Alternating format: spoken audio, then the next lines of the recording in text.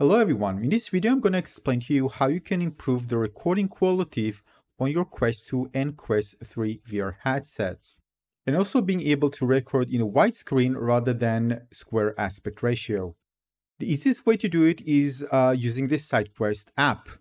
You need to go to sidequestvr.com slash setup dash how to from there, download the advanced installer that you can see on the right. The easy installer is the one that you install on the headset.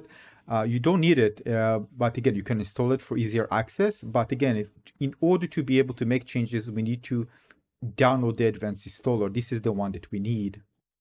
Now, if you click show more, you'll see more options other than just Windows. For me, it shows Windows, but if you click show more, you see other options like Linux and Mac. So download the one that fits your platform.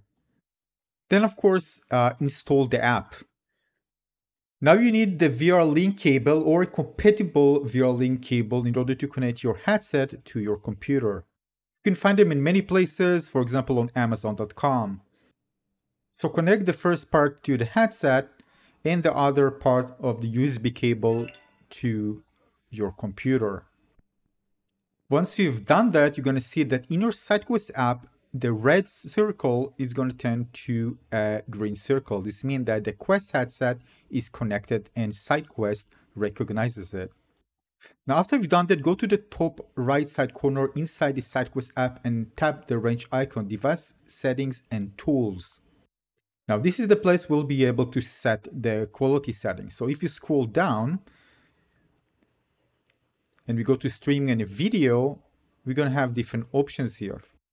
The one that I use is 1600 by 1600 and video capture uh, 60 FPS. The reason I use square because it's the largest size, it allows me to adjust the video after that in post production and I go with the highest 20 megabyte per second.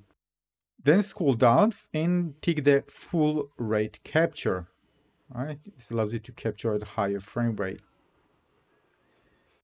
The settings are also good in order to make sure you also maintain good performance overall. Now there is an option to do it wirelessly using SideQuest, but you need to have the USB anyway to connect it first in order to enable the wireless option. So here my headset already connected and I just click connect. It's already connected with the USB cable to the PC and then wireless is available. Now I can just disconnect the USB cable and I can run ADB commands. Basically the same commands that I did before, but now I do it wirelessly. You can also see at the bottom that it, it tells you set OK, which means the command actually received by the headset. Again, this is not the only way to do it, but definitely is the easiest one, especially if you don't want to kind of uh, mess around with some other exe files and download some open source and do it. And again, the settings are great. They work great for me, for all the content that I create. So I'm sure it's going to work for you as well. If you have any question, let me know in the comment section below. Good luck, have fun, give a like if you find this one useful. I'll see you in the next guide. Cheers.